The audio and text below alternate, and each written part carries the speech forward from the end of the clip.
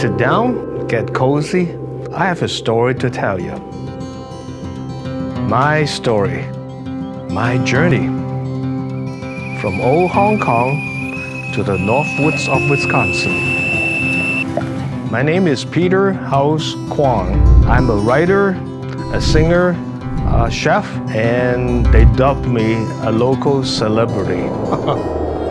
My wife and I went back to Hong Kong 10 years ago. It was great meeting the old friends and family, but there was a hint of sadness deep inside me. The old Hong Kong that I grew up in doesn't exist anymore.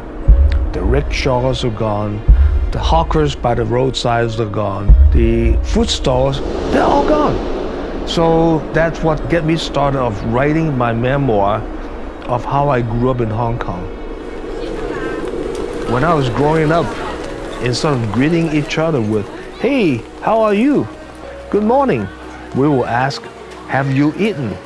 If you have food in your stomach, bless you. Have you eaten is a term that we greet each other long, long time ago. And hopefully, we will use that term ever again.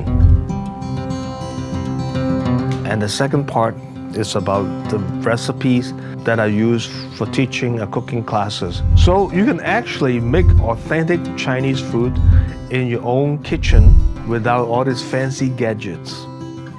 I hope you folks enjoy reading my book.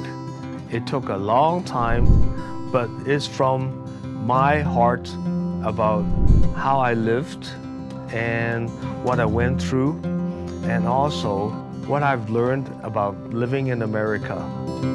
Well, the three simple, easy ways to get this book. Number one, visit my website, phkwong.com.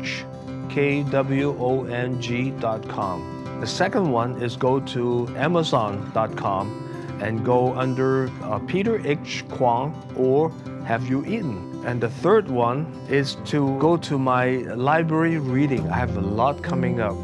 People love to listen to me tell the story, and also I do a little cooking demo on the side. So I see you there.